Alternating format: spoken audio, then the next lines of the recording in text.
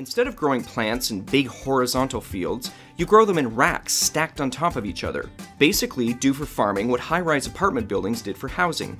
Growing plants in towers gives you a lot more production for your footprint. It solves other problems too. Moving plants indoors means they're not at the mercy of weather and other environmental factors like, say, drought or smog.